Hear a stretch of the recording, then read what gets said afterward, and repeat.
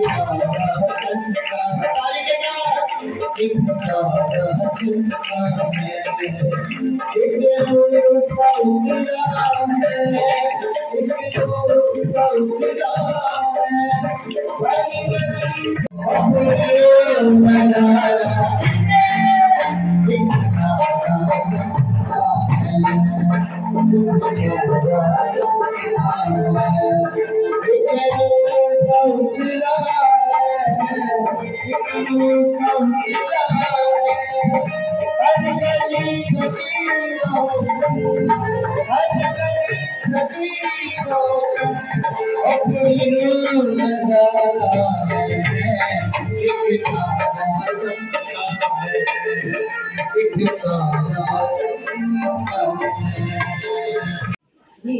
हम बहुत खुश हैं कि हम सब इकट्ठे हैं खुदा खानदान में इकट्ठे हैं। अगर खुदा खानदान जहाँ मौजूद होता है तो इसका मतलब है हम सब एक एक दूसरे को देखकर तसली पाते हैं। खुदा का काम यही है कि हमें बताता है कि यीशु ने हम सबके लिए हर इंसान के लिए अपना खून बहाया है। जब हम ये सोचते हैं तो जिस खानदान को ये नसीब हो जाता है, जिस खानदान को ये पता चल जाता है कि यीशु ने मेरे लिए खून बहाया है, वो ना सिर्फ़ एक ज़िंदगी बढ़ती है बचती है, बल्कि उनका पूरा घराना उनकी पूरी कलीसिया बल्कि बनी इंसान के लिए वो खुश शर्मिंदा बायस बन जाते हैं। तीन हवाले पढ़ेंगे And the first we find in the, Philippians, uh, chapter 2, हम पहला हवाला फिलिपियों के खात्मे से पढ़ेंगे दूसरा बाब and we, read verse 6 और हम उसकी छठी आयत से पढ़ेंगे So Philippians 2, verse 6 to 8. You can read, Pastor.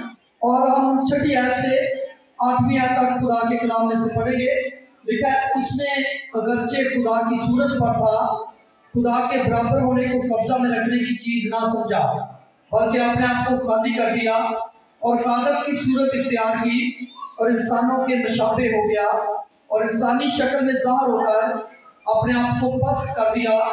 और यहाँ तक फरमा बरदार रहा कि मौत बल्कि सलीबी मौत दोबारा की। खुदा के कलाम पर जन पर खुदा की बरकत हो। आमीन। When we celebrate, when we celebrate Christmas, जब हम बड़ा दिन मनाते हैं we celebrate that God came down. और हम इस बात को देखते हैं कि खुदा हमारा हमारे साथ है And He came down in so many ways. और खुदा जो है वो बहुत बहुत ज़्यादा तरीकों से हमारी ज़िंदगी में हमें नज़र आता है Of course, we think that God is above us and He came down to the earth. और हम ये भी ख्याल करते हैं कि हमारा खुदा बहुत ऊपर है और वो हमारे दरमियान कैसे आ सकता है।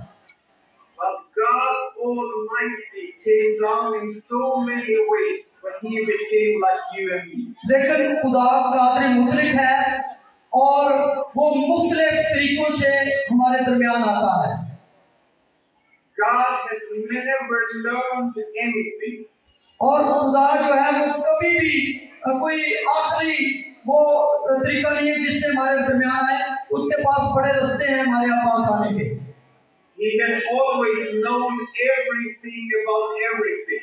और ज़मीन पर हमारा खुदा हर एक चीज़ से वाकिफ है Now He came down as a baby in Mary's arms. और हम देखते हैं कि जब यीशु मसीह की विलादत हुई तो वो एक बच्चे के रूप में दुनिया में पैदा हुआ।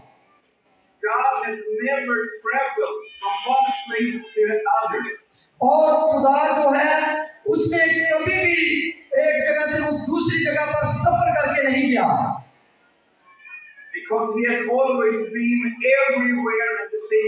क्योंकि खुदा दुनिया की जो भी जगह है खुदा एक ही वक्त में हर जगह पर मौजूद होता है जोरदार ताले बजाइए।